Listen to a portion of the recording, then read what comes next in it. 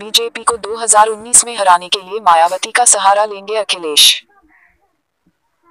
अधिकतर सपा नेताओं को लगता है कि 2019 लोकसभा चुनाव में भाजपा के विजयरथ को रोकने के लिए सपा को मायावती के साथ चुनाव पूर्व गठबंधन कर लेना चाहिए। इकोनॉमिक्स टाइम्स की खबर के मुताबिक सपा के कई दिग्गज नेता यहाँ तक कि राष्ट्रीय कार्यकारिणी के सदस्य भी यही मानते हैं कि बीजेपी के हाथों लगातार दो हार के बाद सपा को बसपा के साथ हाथ मिला लेना चाहिए। सपा सरकार में कैबिनेट मंत्री रहे एक मुस्लिम नेता ने ईटी को बताया कि यूपी विधानसभा चुनाव में करारी हार के बाद सपा बसपा गठबंधन मजबूरी है। स्वामी अखिलेश यादव द्वारा गठित की गई सपा राष्ट्रीय कार्यकारिणी के तीन बड़े सदस्यों का मानना है कि दोनों पार्टियों, सपा बसपा, के लिए गठबंधन बहुत ज़रूरी है।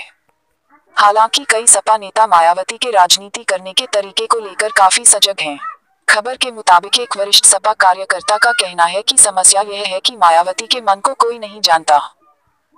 खबर के मुताबिक ज़्यादातर बसपा नेताओं का भी यही मानना है कि सपा बसपा गठबंधन होना चाहिए। हालाँकि सपा नेताओं के विपरीत बसपा नेता चुनावी पराजय के बाद मायावती के दृष्टिकोण के बारे में कोई आभास न मिलने पर राजनीतिक भविष्य को लेकर चुप्पी साधे बैठे हैं। उन्नीस का गेस्ट हाउस कान बन सकता है रोड़ा।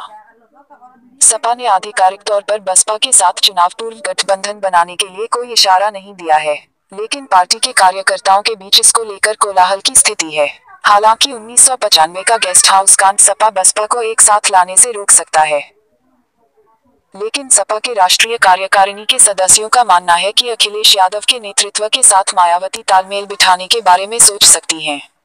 भाजपा द्वारा योगी आदित्यनाथ को यूपी का सीएम बनाकर हिंदू कार्ड खेले जाने के बाद से ही सपा बसपा गठबंधन के कयास लगाए जाने लगे हालाँकि सपा नेताओं का मानना है कि सपा बसपा गठबंधन का पहला संकेत अगले साल मायावती की राज्यसभा सदस्यता के खत्म होने के बाद देखा जा सकता है, क्योंकि बसपा के पास पर्याप्त संख्या बल नहीं है जो मायावती को दोबारा राज्यसभा भेज सके। माना जा रहा है कि सपा मायावती को अपने बल पर राज्यसभा भेज सकती है, जो दोनों पार्टियों के गठबंधन का पहला संकेत हो सकता है।